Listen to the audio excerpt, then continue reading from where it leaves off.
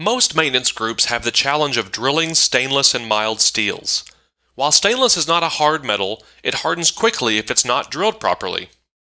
One major food and beverage producer had their maintenance group test and compare their most commonly used drill bits against stainless steel. The two that went head to head were the PartsMaster CryoBits and premium quality high speed steel bits. When drilling stainless steel, the high speed steel bits drilled two holes per drill bit and then the bit failed.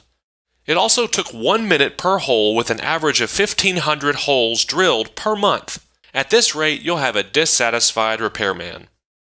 This came to a cost of $9,825 a month with increased labor and materials compared to the PartsMaster CryoBit.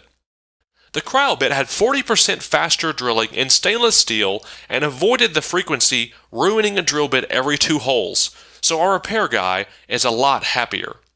Over a month of 1,500 average holes drilled, what was 750 drill bits for high speed steel now only needs 125 cryobits.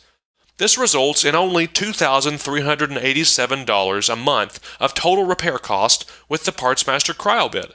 So that means the total savings comes to $7,438 per month.